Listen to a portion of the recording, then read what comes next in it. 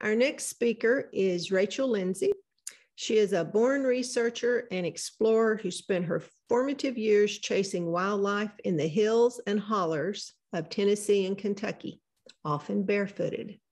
Her feral esque, what a charming word is that, mm-hmm. her feral esque childhood instilled in her a deep rooted passion for the outdoors with a special affinity for water and caves.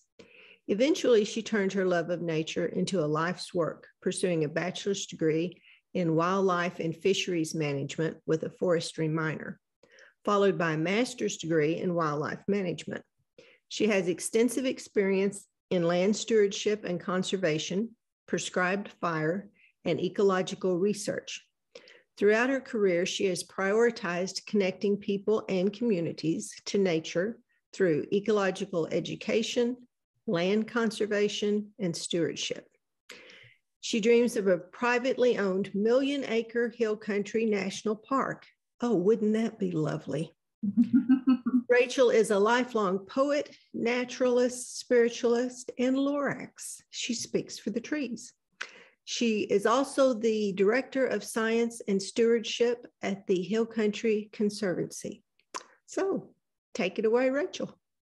Thank you so much, Paula. It's great to see your face and uh, to have people here today to hear about this important topic. Um, this has been a really a labor of love for me in discovering how important the Ashe juniper tree is to our ecology and understanding how the hill country really functions. And I think that's an essential part of figuring out how to protect this amazing paradise that we get to live in here in Central Texas.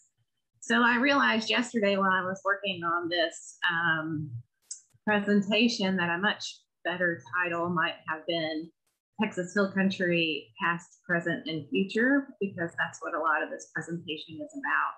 Uh, and a less evocative title as well. Uh, but I'm excited to share this with you guys and take you on a journey of the things that I have learned.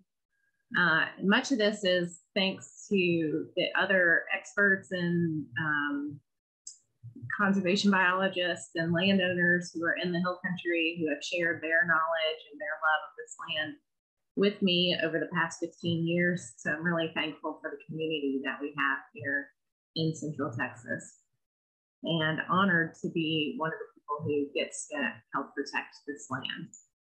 So first, I think we have to define the hill country, and it's sort of a, a jellified concept for most of us because we have a good idea of that southern and eastern edge.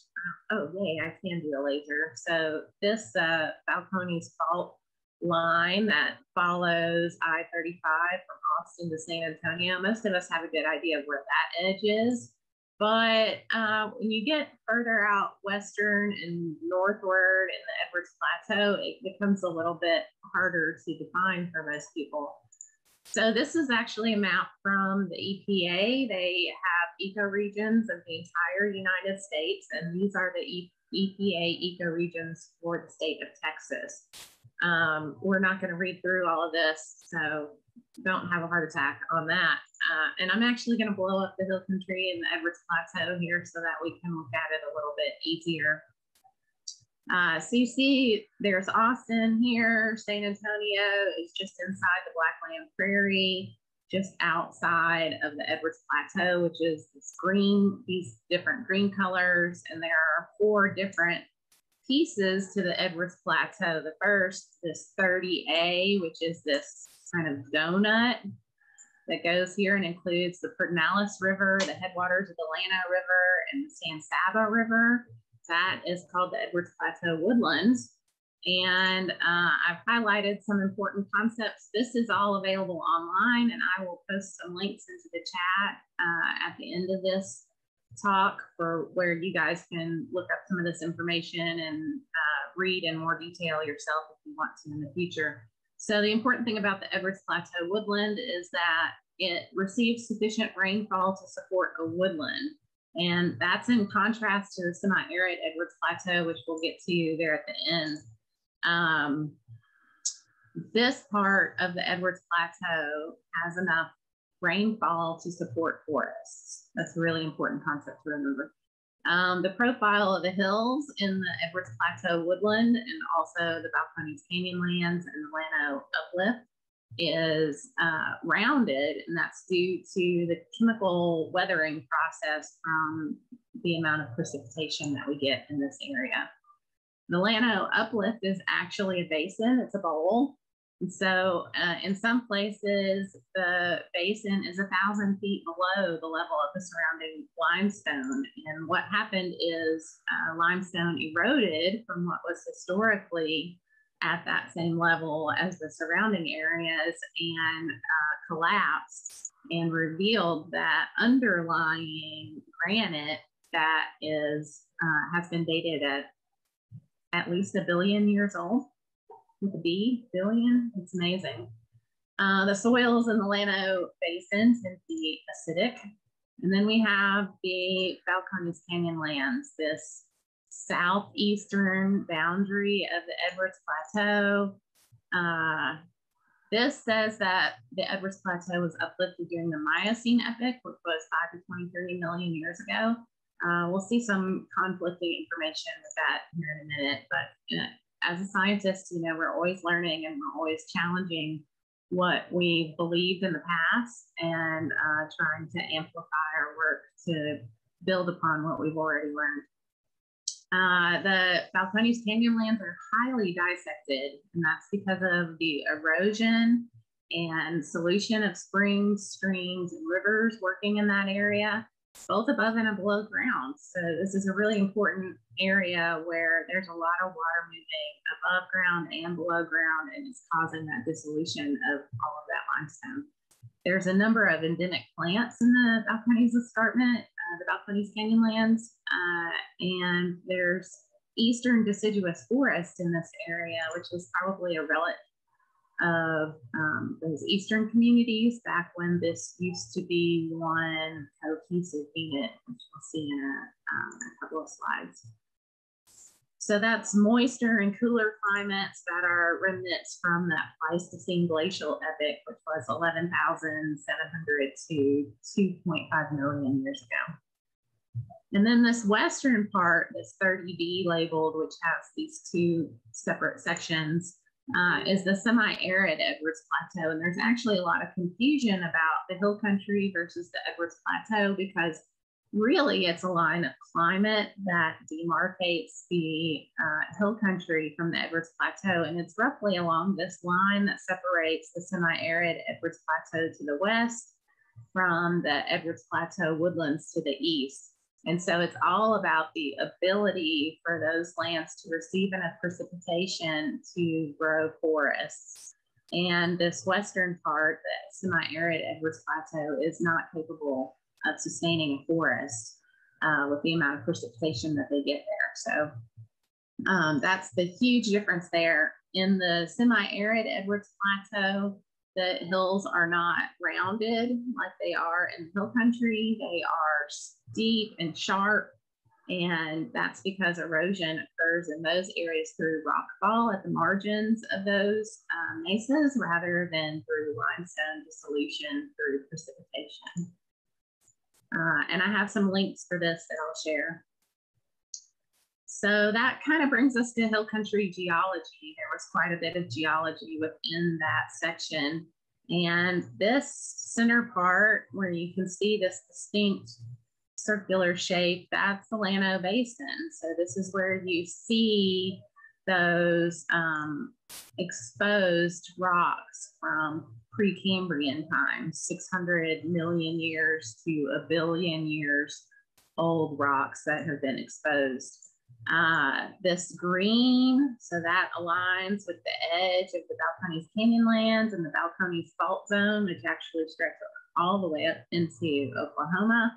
And uh, that is limestone that was deposited during times when Texas, when this land area was covered with shallow seas. And so those species that lived in those seas um, deposited over millions of years these limestone um, sediments and those accumulated and that's what we see today. And then through those seas coming and going across texas over millions of years uh, there was dissolution of that limestone there was more sedimentation and deposition there was erosion. So uh, that's how we ended up with all of our aquifers and these karst cave systems so this is a really cool website that I'll also share in the chat. Uh, it's Dinosaur Database, and they have this globe that shows you, you can choose up here at the top,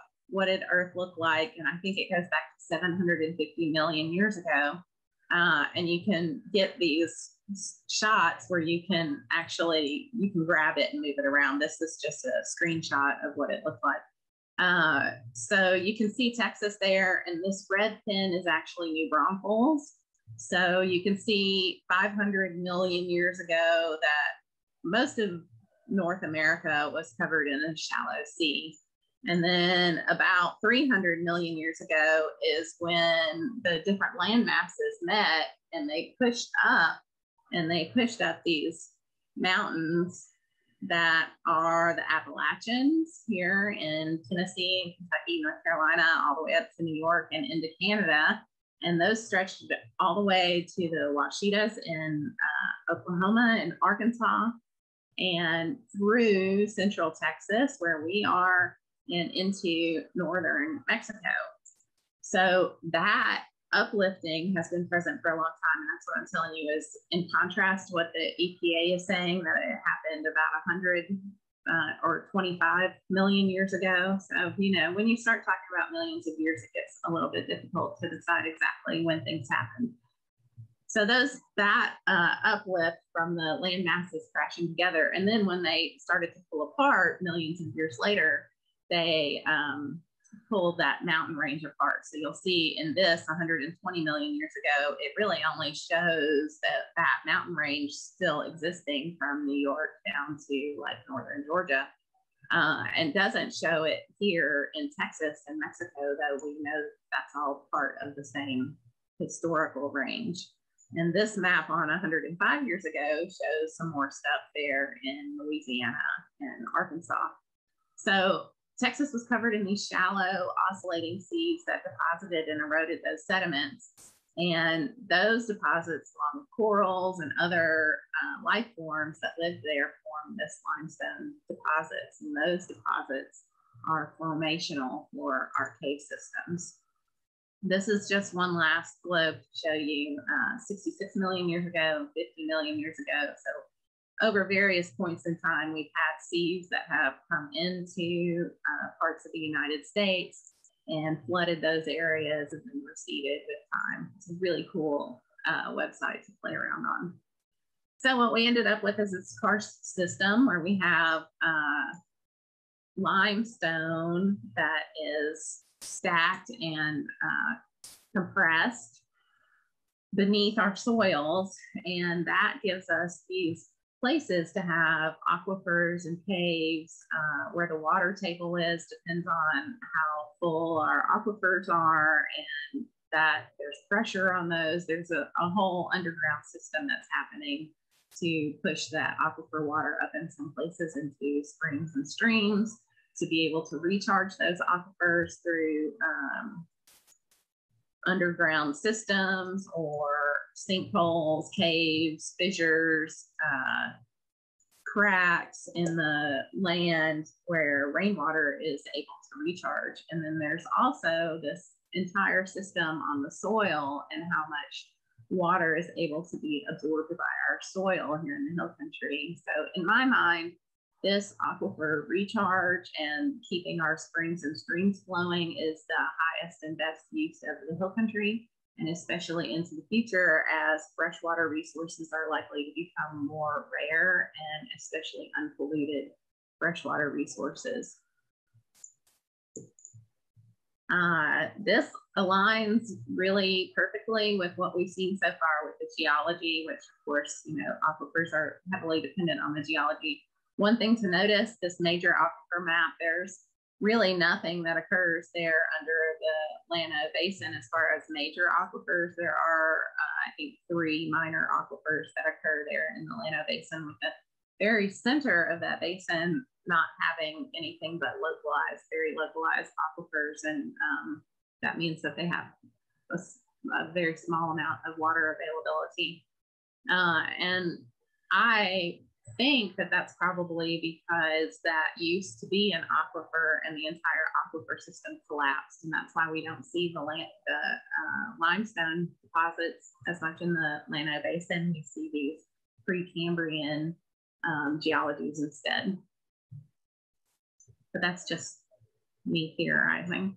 So what we end up with is uh, this map of the hill country. The Edwards Plateau woodlands are in that light blue color. The Llano Basin is in that orange color. And the green color is the Balcones Canyonlands. And again, this western boundary is really a line of climate beyond which a forest can't really be supported and uh, the weathering looks very different in the limestone.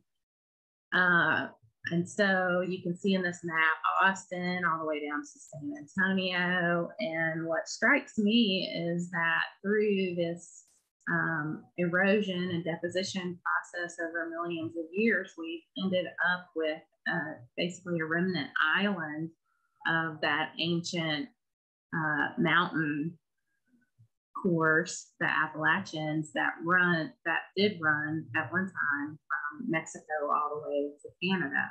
And so we have kind of this little remnant island and it sits in the middle of much sandier soils of really a sea of grassland. So we have this tiny hill country island in the grassland, and that's what gives us all those crazy rare species and aquifer species is because we became isolated and basically made an island habitat. So a fun game here, if people want to throw out into the chat, I have a few pictures from different rivers in different ecological areas of the Edwards Plateau. Does anybody want to guess where this picture was taken, the Devil Rivers. Okay, very good. The Devil's River. Um, this is the semi-arid Edwards Plateau. It is the Devil's River, and uh, the big giveaway on that is that um, these hills in the back. There we go. Get my laser pointer going you can see how they've sheared off rather than being rounded from weathering. You can see clearly this area does not support forest, not even alongside the river's edge is there a, like a band of forest. It's very grassy and short early successional um, vegetation species. Okay. Any guesses on that one? I'm gonna give everybody a, a second to if anybody wants to type anything in the chat. It would be fun for us to yell out, but I think that could get messy. the Llano River, yes. So you see these um, pink granite stones, which is a huge giveaway, right, for the Llano. Perfect. Uh, that's Enchanted Rock. Again, the pink granite uh, that stands out. Uh, so any guesses on this one? And I saw that uh, Sarah Jenkins asked in the chat, is all of the hill country geology a remnant of the Appalachian range or is it just the Balcones Canyonlands? So what it looks like to me is that all of the Edwards Plateau is a remnant, but uh, I'm not really positive about that. I don't know how much squished up back when Pangea formed and these are still just formational things that I'm learning and theorizing about. So hopefully I'll be able to come back next year with more information for NPSOT and be able to talk to you guys about those things. Uh, so Frio, that's a good guess. Uh, this is actually in the Edwards Plateau woodlands, and I'll give you another picture, and maybe some of you will guess it based on this picture. This is actually one of America's most endangered rivers, if that gives it away. Um, this is the San Saba, and in the headwaters of the San Saba, there's a lot of groundwater pumping for irrigation and for people, and it's running that river dry frequently, especially when we have drought. Uh, the San Saba is a hot spot for freshwater mussels. So this is an even scarier proposition that we're letting a river run dry that is a, a site for these endangered and rare um, freshwater mussels. Uh, so one last one, and this one's hopefully super easy. Um, you guys have gotten pretty much everything else. Um,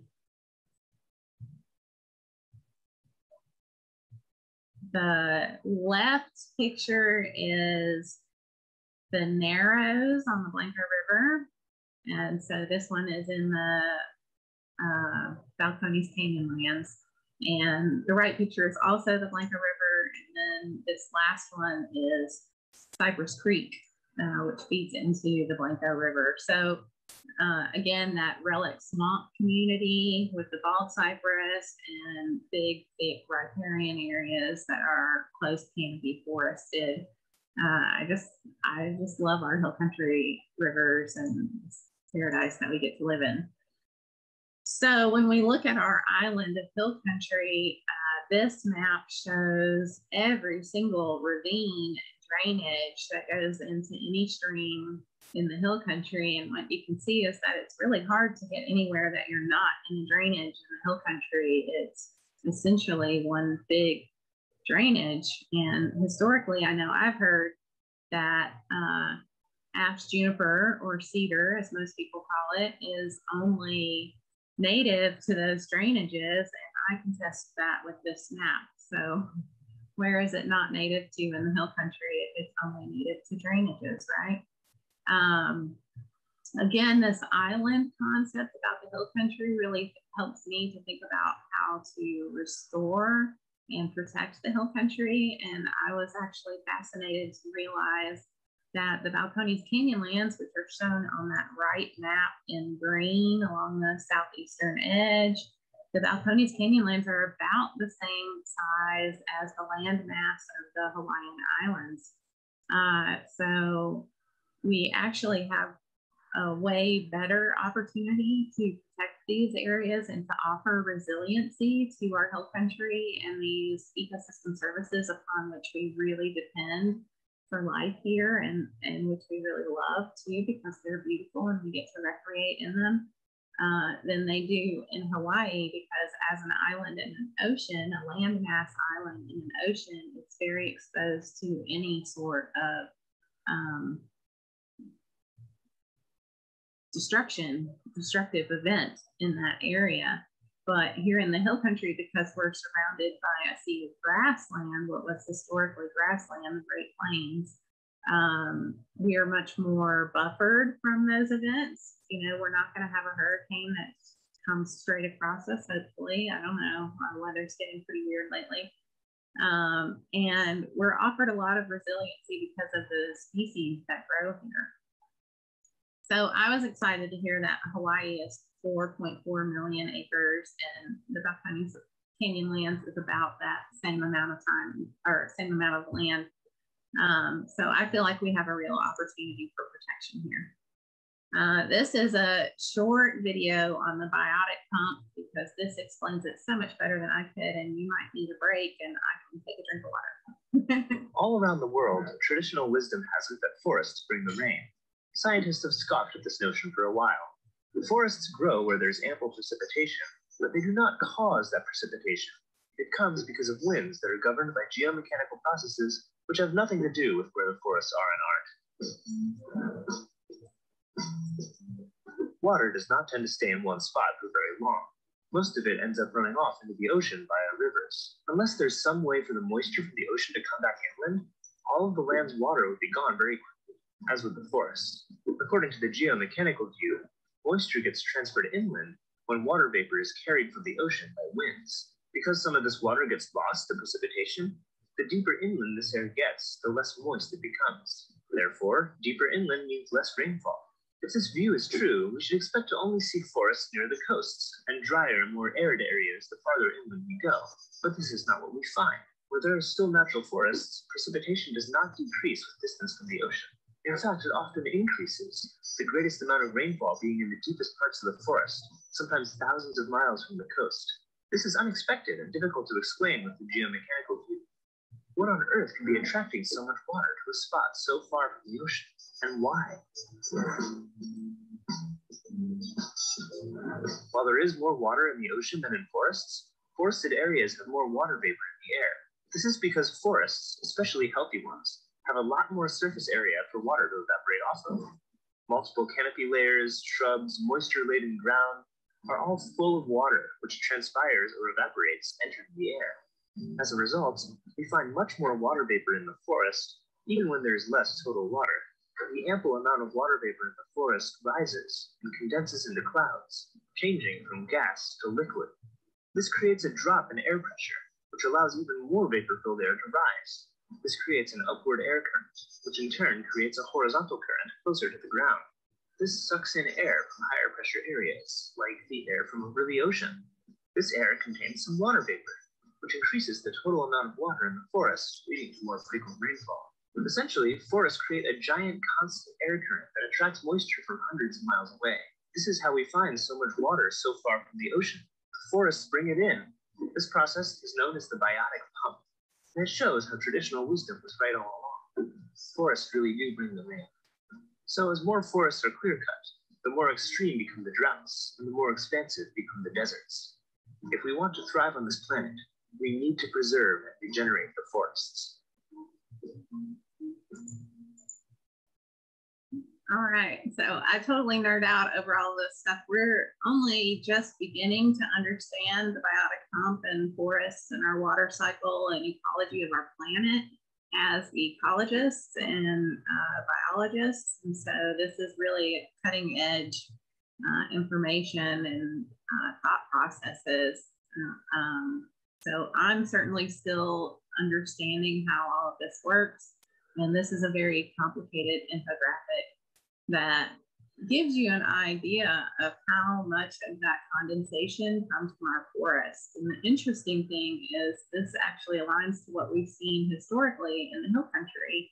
In the 1940s was when we had the most forest clearing and brush clearing in uh, our history because they were um, settlers were using it for wood, for fence posts, selling it for materials. Um, Ashe juniper was also used for railroad ties.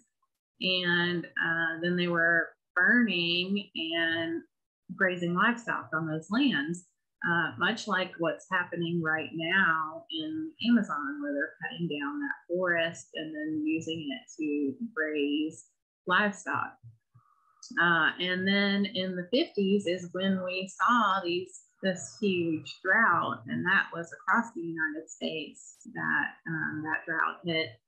But here in Texas, it took us seven years to get out of it, and when we finally did, we had torrential rain and floods in 1957, and those took a lot of our soils with them too. So I think historically we've lost a lot of that millions of years of production that happened in the hill country with our vegetation.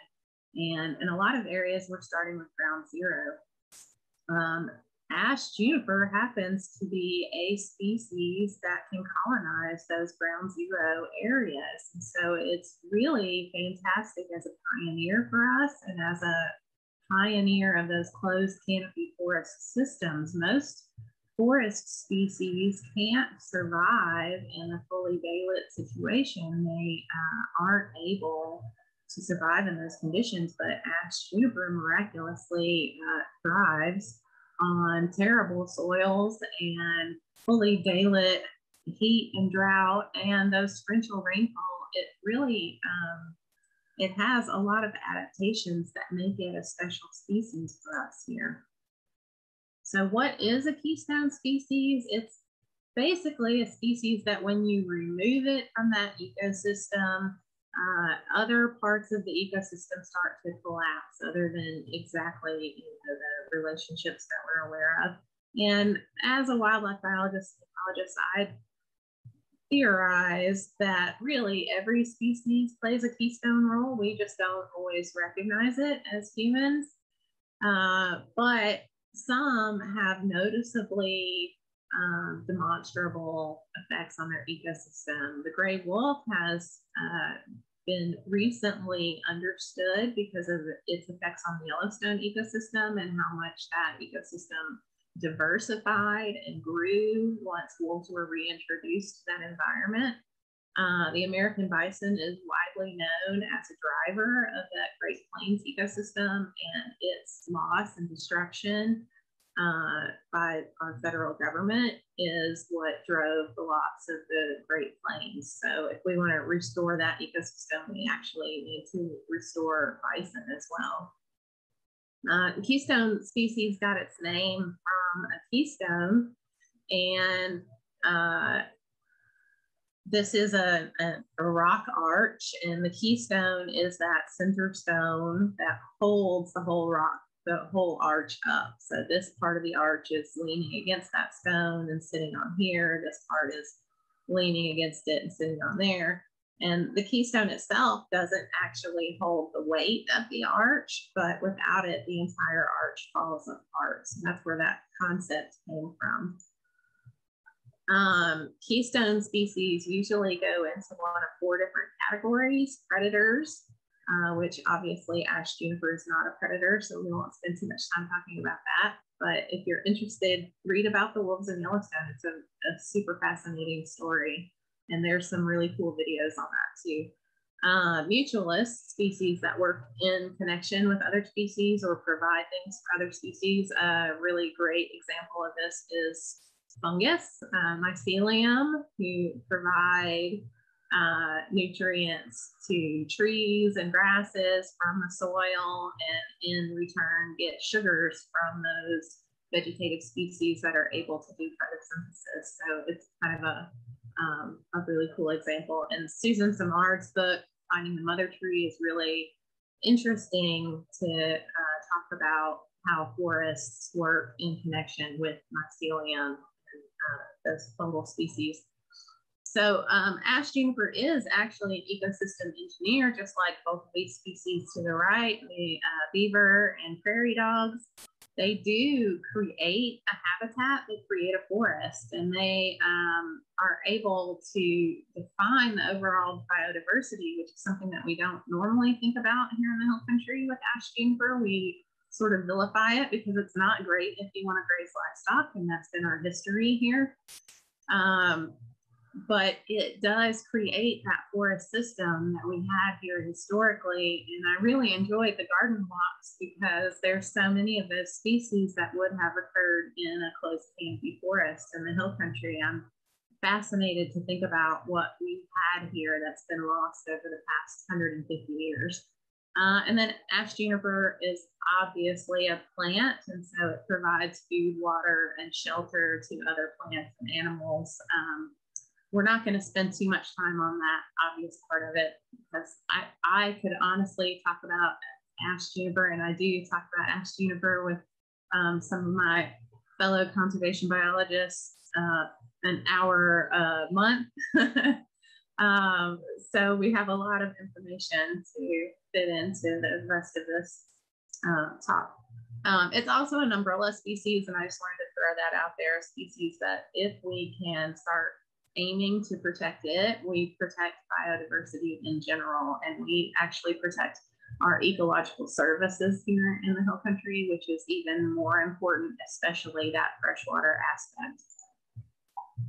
So uh, my kids both homeschool, and yesterday my 12-year-old Gray asked me what a keystone species was because he saw my slide, and so I was telling him about keystone species, and he said, "Oh, like pollinators."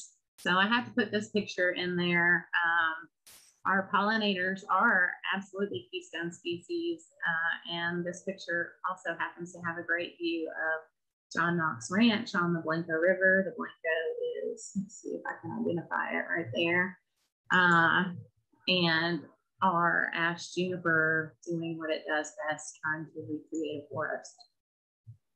Um, so when I start thinking about what our historical vegetation might have looked like in the hill country, I like to look at topographic maps a lot of times and uh, look at some of these different places and what they've been named And uh, this place stood out to me, Cedar Mountain here in Llano County. This is uh, the Llano Gillespie County line. Here's Blanco County over here. You can see the blue of the Edwards Plateau woodlands. So we're in the Llano Basin here. And you've got Cedar Mountain. So you know that historically there was a lot of cedar in the hill country. There's a lot of places named after the cedar. There's actually a lot of written information about how much um, cedar was in the hill country and how much they used it. This was written in 1719 on an expedition through Texas, and they said that they tried to uh, get to the source of the Guadalupe River. They traveled and could not reach any further because there were uh, the woods were so thick and there were so many rocks and obstructions getting upstream. So uh, in 1719, at least, the Guadalupe River was extremely forested and uh, a hindrance to travel. This is in 1874, and it's from the uh, Statesman. The cedar tie business has contributed to the growth and prosperity of the Hill City, which is uh, what Austin was called back then more especially in the last 12 months. And it says a gentleman from the Central Railroad said that 200,000 cedar uh, ties, which were railroad ties, have been shipped from the Hill City in the last two years. And they fetch about 60 to 90 cents each. So that was a huge revenue source back in 1874. Now it's kind of devastating to think how much growth was taken for 60 to 90 cents a tree, uh, that's a steal in today's time. In general, this is 1904, and this is William Bray. He wrote a uh, brochure. Um, the timber of the Edwards Plateau. I don't know if you can see, it's kind of shiny. Uh, he wrote that in 1904, and it was for the Bureau of Forestry in the U.S. Department of Agriculture, the timber of the Edwards Plateau. And he says, in general, the Edwards Plateau is a timbered region only in the deeply eroded portions, becoming prairie on the level uplands, and finally passing into the great grass plains which stretch northward into Canada. One must, however, distinguish many degrees of forestation according to the relative amount of moisture.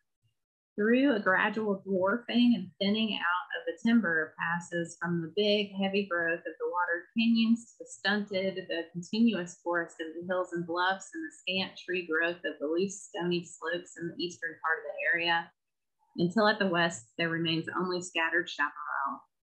Uh, so to me, just one more nail in the coffin of thinking about the hill country as only a grassland. It was those flat areas that were capable of sustaining grasslands that had grassland in it and likely had buffalo coming and perpetuating that system. And then the slopes and uh, the top of those hills, which are um, very steep themselves, would have had Ashe juniper that was cut and removed during um, the late 1700s all the way through today. Uh, so it's just been this continuous cutting of those forests. Uh, some more information on uh, the amount of timber that there was in the hill country. And these slides uh, on the historic history of the hill country come from Lisa O'Donnell's Ecology of the Texas Hill Country, which I linked to in that original reference document that uh, goes along with the slideshow. Uh, and they also relate to Elizabeth McGreevy's book, Wanted Mountain Cedar Dead and Alive, which just came out a few months ago and is an excellent reference and resource for thinking about these myths of Ashe juniper. So this uh, particular slide talks about that cedar was also used for fuel and that enormous amounts of Ashe juniper were cut to use to burn for fuel to keep people warm, uh, which is something that we don't really think about anymore. And then again, railroad ties, poles, posts, sills, and other articles which utilize its great durability. So uh, I believe it was in the Cedar Chopper's book that he talks about Ashe juniper posts were used as far away as California and Montana. And um, yeah, the railroad ties stretched across Texas at least. And I think they were used even way out east in like Virginia. So this is William Bray again. A deplorable loss of cedar has taken place from break fires. For half a century, these periodically occurred. Areas which have not been burned over are the exception.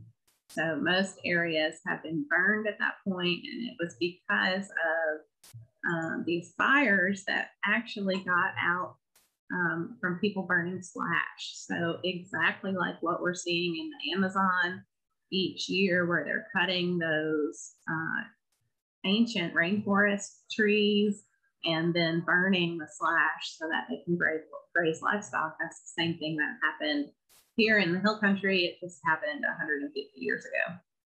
Uh, so this is a study that was done by the city of Austin and the blue graphs are how many trees that they sampled that uh, were seedlings in that year uh, or that decade. And then the red bars are, oops, uh, the number of fire scars that were observed in those um, samples, tree slab samples that were collected. And so you can see that the fire scars start in the late 1800s and peak in the 1940s, 1950s, 1960s.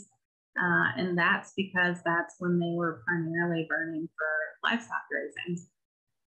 So what we have in the hill country is historically we have this established climax community, which wouldn't have always had Ashe juniper in it, especially as those communities get older, the Ashe junipers become less prevalent and other trees uh, become part of that canopy. So we've probably had a, a extremely biodiverse canopy. Um, they came through and cut a lot of the forest, used it for timber and fuel, and then uh, not only did they cut it, then they burned it and they grazed it. And so normally what would happen is then you have soil remaining and you have these fast growing plants that are initially dominant, Nate, like um, the graphic shows. But what happened in the hill country is we've gotten these huge, crazy torrential floods. And so we lost a lot of that soil as well. So not only did we lose the vegetation and the way that that community works ecologically, we lost the soil. And so we've got plants that can grow on basically bedrock that are trying to reestablish that community. This graphic shows um, what happens when you have a, uh, a forest that's functioning optimally. There's evapotranspiration, just like what happened in the video. I'm gonna go pretty fast through this so that we have time for um, comments at the end. So when it's deforested, then uh, you have the chance to have erosion and uh, our rivers and streams also erode. Um, so we have that, that uh, really rapid runoff. Uh, evapotranspiration decreases, which means our precipitation also decreases. And when we do get precipitation, it's highly destructive to the soils. This is another infographic that shows that same concept. Um, when we deforest an area, we end up with infertile soils. We have no trees protecting those soils. We have no leaves dropped as litter, which means we have less nutrition in the soil, less organic matter in the soil. And so the soil is not capable of holding as much water and infiltrating as much water into the aquifer and it changes that composition of the soil so that uh, vegetation isn't able to grow as easily. So this is um, a picture from a property with a, an older closed canopy Ashe juniper forest. And you can see that we do indeed have really deep, rich soils under uh, those Ashe juniper forests. And uh, City of Austin has also been doing some research about the soils under juniper mott's. So this shows five times the amount of organic carbon as the surrounding soils on this um, location. This one shows that old junipers are even better than young junipers, and those are even better than grasslands. So really important to our soil organic matter. This infographic comes from Kiss the Ground and um, important just to show the importance of soil health. The more organic matter that we have in the soil, the more biodiversity we're capable of sustaining on the ground in terms of vegetation, and the better that vegetation can protect the ground. So this is kind of our mandate here in the hill country. How can we protect our soil? And uh, that protects our water. One more clue to the history of forests in the hill country is uh, kind of our iconic endangered species, the golden-cheeked warbler. And if you look at the golden-cheeked warbler range, it actually really highly overlaps with that range of Ashe juniper. And uh, most people know that Ashe juniper actually stretches into the Ouachita Mountains in Oklahoma and into northern Mexico. And that's all part of that um, historic range of those Appalachians. There's the juniper hairstreak butterfly, so another species that has uh, adapted to juniper, Ashe juniper, um, and juniper species in general, and is in this range. And juniper actually acts as a nursery. So from observations uh, from all across, the Balcones Canyonlands primarily is where we're talking about Ashe juniper being super important. As you go out into the Edwards Plateau woodlands, you tend to have sandier, deeper soils with less of a um, the aquifer system isn't the same as it is in the Balcones Canyonlands. It's um, confined aquifers and they are um, more strict with where they are and how much water is leaching through them. And so um, some parts of the Edwards Plateau woodlands, which is where Fredericksburg is, actually have like post oak savanna communities, it appears, um, which would have been remnants from those communities that stretch all the way up into Oklahoma too. So it's really interesting to see how the hill country is this conglomeration of different things, but also kind of an island that functions on its own. Uh, there are some plants that exclusively or almost exclusively associate with Ashe juniper, like cedar sage. Uh, there are some species that we see primarily growing under Ashe juniper and seem to falter and fade when they don't have that Ashe juniper component, like Texas madrone and Texas red oaks. Uh, there are this 72 rare orchids comes from a, a, juniper reference document that Lisa O'Donnell has online, and so I'm trying to understand if that's talking about juniper oak woodlands forests, like you know nationwide. It's uh, not about only here in the hill country, but there is an orchid that occurs in the hill country and it does occur under these Ashe junipers. Uh, and then there's several other species of plants that are endemic to Texas and also um, wildlife that are endemic to Texas. And it's because of these Ashe junipers and the function that they provide. So here's a red oak seedling and a larkspur that's growing under an Ashe juniper. And you can see back behind it, you've got these hills that are covered in Ashe juniper trees. And here's the little red oak seedling growing under this tiny Ashe juniper that's trying to take over this cobbly, um, bare soil here where there's been historical clearing. There's some evidence of historical clearing. Um, so this stuff back in the back, the way that I look at it is that it's the top layer of a sponge on our um, hill country aquifer and soil system. And that sponge acts to deflect the water and to allow it to percolate into that really high inorganic matter soil, which allows it to infiltrate down into the ground and get into our aquifers and keep our hills full of water. This is a giant madrone. I would like to see this one in person growing side by side with an Ashe juniper tree. So I typically see, I've only seen madrones growing from under an Ashe juniper canopy. Um, Ashe junipers frequently act as that mother tree.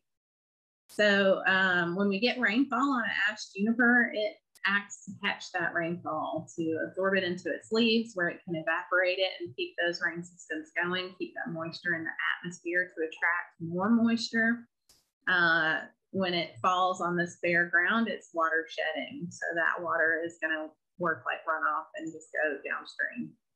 Another madrone growing with an Ashe juniper with a closed canopy or almost closed canopy. This is a pretty young forest, but it is starting to function in that sponge way. And you can see how the top of those trees really look like the top of a sponge with holes in it and, you know, little tiny holes for water to get absorbed and to keep that moisture in the air. Um, more of that where you can see erosion and pedestaling of the species because the water flow is so high that it's eroding all the soils that don't have vegetation holding them together. This is a um, little walnut, little walnut, yeah, me a minute, sorry. Uh, and it's got Ashe junipers growing underneath it. This is the dog hair form of Ashe juniper where uh, when it's fully sunlit and there's a lot of juniper seedlings that all come up at once, which is what would happen in an old growth forest when a mother tree dies and leaves an opening in the canopy, you would have a thousand of her seedlings all come up at once and they grow really tall and straight because they're all reaching and competing for that light and trying to be the first one to make it up into the top of the canopy so that they can spread out their branches and, you know, be the winner. So a lot of people are tempted to clear out these Ashe junipers underneath it. And this is what I see happen is those get delimbed or even removed and immediately feral hogs come in and root up everything and eat all of the potential seedling crop out of the soil so that um, that mother tree ends up not having any of her own seedlings able to grow in that area. So we um, often think of Ashe juniper as a detriment to these other trees, like it's choking them out, but it's actually protecting them from herbivory in some areas. Uh, so here's another madrone growing under an Ashe juniper, and you can see that accumulation of organic matter and grasses under the Ashe juniper. Uh, I'm going to skip this infographic. It's just a cool one that talks about trees in general. Um, so all the same things that we've already talked about. And this shows an older growth Ashe juniper forest. And what you notice here is that there aren't a lot of Ashe juniper seedlings coming up under these trees. And that's because it's getting on to the point of having some of that biodiversity and having other species be able to grow in that understory. There's a little baby seedling Ashe juniper growing in the crook of a dead Ashe juniper stump with all that moss. Our hill country forests are just astoundingly biodiverse. Um, the point of this slide is really that 2 million people depend on the drinking water of the uh, Edwards Aquifer. And so if we want to protect our own ability to live in this area, we need to make sure that our aquifers stay full of water and that we protect those aquifers from pollution. And Ashe juniper actually offers us a really great way to make sure that that water gets into the aquifers and is soaked into the land rather than just running off into our streams and causing flooding. So I have some thank yous up there. I have my name at the bottom and um, this picture goes along with a, slide from, I've forgotten the name now, Save Our Water. And it's, um, it is if you want rain, grow trees. So I'm gonna look through these uh, comments and answer uh, questions for you guys. And if there's anything else that y'all want to chat about, uh, feel free to put a comment in there. That was a great presentation. Okay.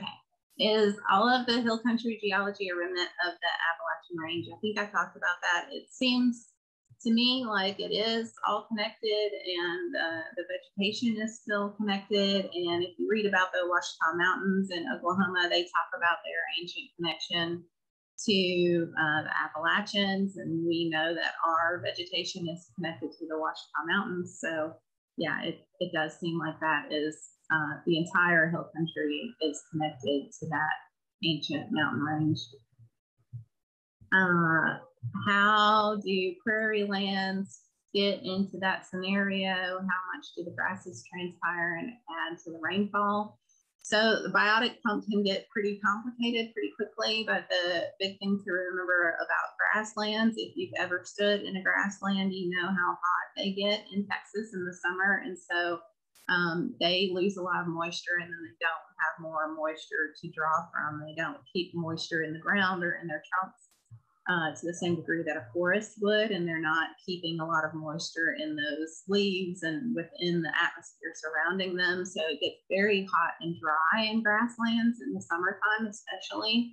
Whereas in a forest, um, because they're shading the ground, there's much cooler temperatures, which allows there to be more moisture in the air, um, even during the summer. So it can often be kind of sweaty in the um, forest. So should mesquite and huisache be considered a keystone species in central Texas? I have not researched that, but I'm sure that they are keystone to some of those ecological processes. And a lot of these species, an important thing to remember is we see them as a nuisance because they don't go along with what we want to do with the land, but they're here in such high numbers because of what we've historically done to destroy that productivity and the biodiversity of the land.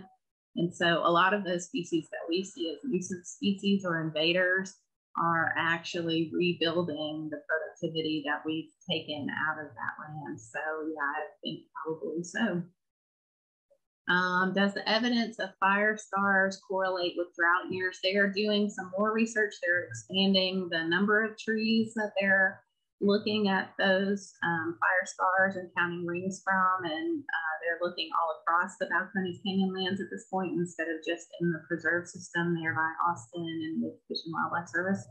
Um, so I'll be excited to see what they learned from that data. And they're also looking at um, our rainfall patterns with historical clearing. And so they're using uh, aerial photography to look at some of those and, and see what we can learn about our history and how we've impacted our own precipitation cycles here in the hill country. Uh, how well do they compete against invasives like Chinaberry, Nandina, or Chinese pistachio? I don't know much about Chinese pistachio. Chinaberry and Nandina tend to occur in wetter areas, as far as I know. Um, I'm I'm not an expert on any of those species. Uh, I mostly see Chinaberry on the rivers, and so that's not where we're seeing Ashe juniper growing for the most part. It's where we have like bald cypress and those kind of relic swamp communities. Um, and so I don't think that they're co-occurring at this point but I would expect at some point we will start seeing invasives that are on like our hillsides and slopes more where we have that Ashe juniper component. And um, I'm actually terrified that we're going to end up having something that outcompetes it in a highly negative way or a bug or something that gets into the system because it it is overly dominated at this point, and it is one age class from when we historically cleared. And so we have this really disrupted community already, which makes it very susceptible to any of those kind of destructive events. Uh, let's see, there has been so much recent teaching of how the Ashe junipers cause problems, like keeping water from going into the ground from Bamberger Ranch allelopathic issues, etc., until it's clear and clear so the springs reopen. This seems to be showing that this is not so. Yeah, so that's kind of what I hope that you guys get from this presentation is that um, a lot of that information that we were told historically was based on um, you know, one year single observations where we were thinking about only what was happening right now in the immediate time frame rather than long-term observations. And the longer that we go where we're getting more information about the hill country and especially where we're able to look at like aerial photos of the entire hill country and historical aerial photos and topography and um, analyze the system as an ecosystem, the more that we're learning about how this species actually helps us. Uh, there was a recent paper by um, the Wilcox Ecohydrology Lab out of um, Texas A&M Kingsville, and they uh, showed that junipers actually infiltrate more rainwater than grasslands, and they were thinking going into it that they would show the opposite effect. So, um, and that paper just came out at the end of 2020. As soon as I finish answering these questions, I will thank you, Carol, for compliment. Um, post some links to the different information that I used to make this presentation and places for y'all to further explore some of these concepts.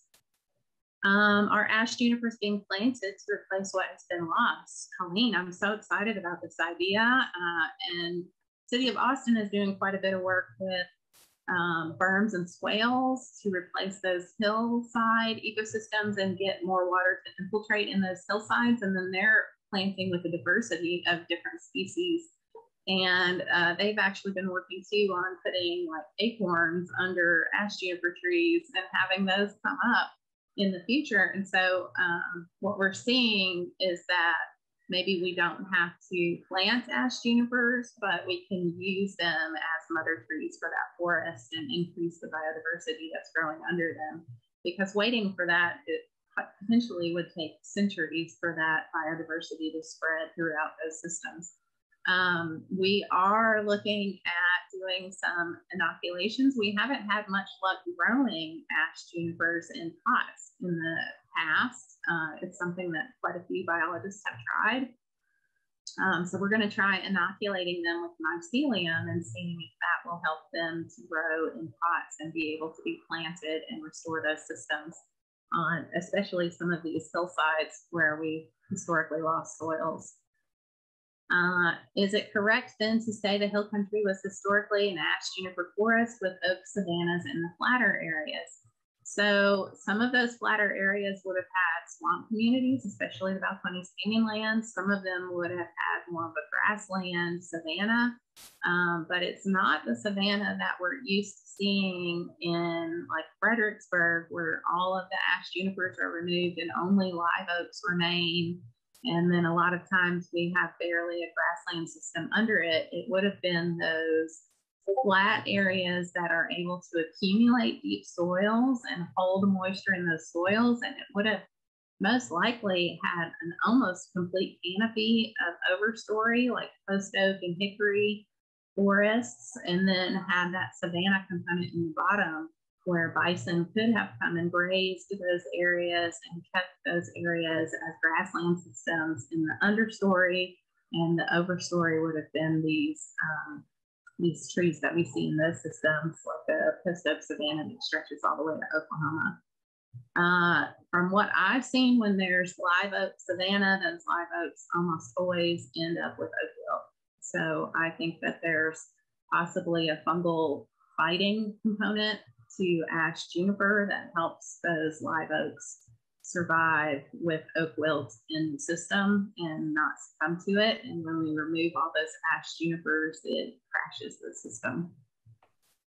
Uh, can you talk to all my friends so they will understand we need cedar? I would love to.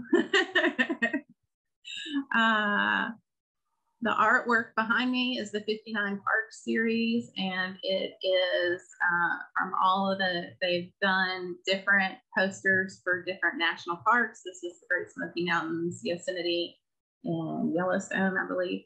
Um, and down here is an article from Bracken Bat Cave Protection, and this is the Guadalupe Bass from Guadalupe Bass Restoration Project on the Blanco River, which has been ongoing for about 10 years now since the drought of 2011. So exactly 10 years. That's amazing. Uh, the City of Austin Bioswale Project, thank you for that.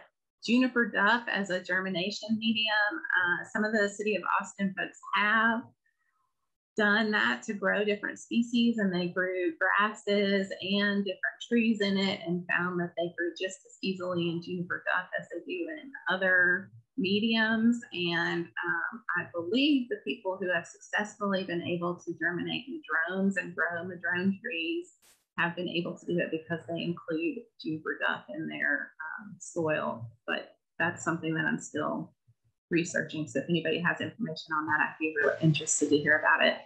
Thank you for that link to the Bioswale project. That's a really cool project. Um, and that um, one that y'all can check out and volunteer on once we're out of pandemic stages. Okay. Awesome, juniper duff. Okay, uh, I have seedlings, sprout out duff I brought back from plant rescues. I don't have junipers around me.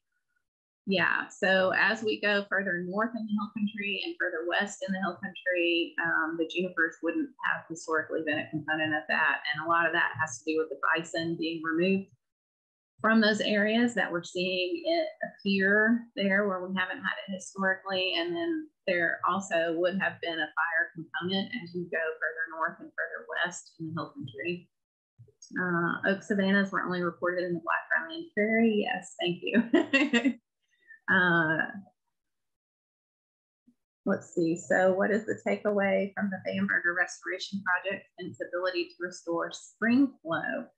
Um, I would be really interested to dig into some of Bamberger's data on the spring flow and his restoration projects. I know that originally he cleared a lot of cedar and then regretted it. And so if you go to Bamberger Ranch and see what their restoration is, they actually did not clear all the cedar on that property.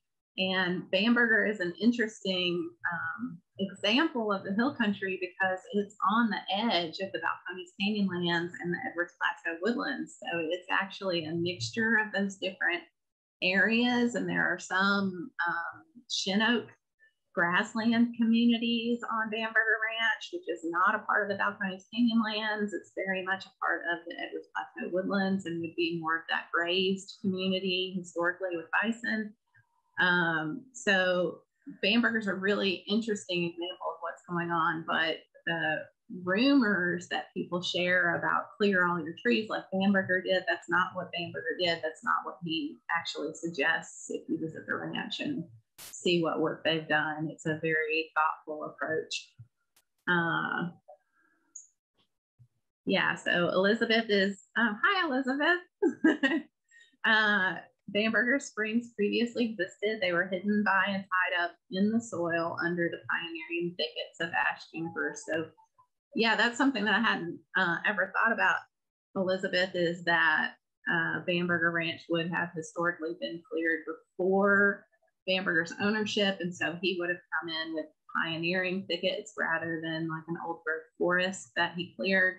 Um, so it's just, it, it's a new way of thinking about how we manage the hill country and what we want for the future. And I think especially when we start talking about climate change and carbon sequestration and water and availability of fresh water, uh, it starts to become kind of obvious that leaning on our natural vegetation and that natural infrastructure really supports our ability to provide those ecological services. And we have to, as a community of people who want to be naturalized with our ecological services, we have to provide and value those services. And it's something we've always gotten for free. So we kind of look at it like, oh, yay, water, you know, trees, we can just do whatever we want. Well, there's hundreds of years of growth that go into those trees. There's thousands or potentially millions of years of growth that go into that soil, and it's irreplaceable, it's priceless. So we really have to start valuing these systems. So I went about 10 minutes over, but if anybody has anything else they'd like to chat about, this is my passion and my love, and um, I'm really excited to learn with you guys and share what I'm learning today. So thank you for this opportunity.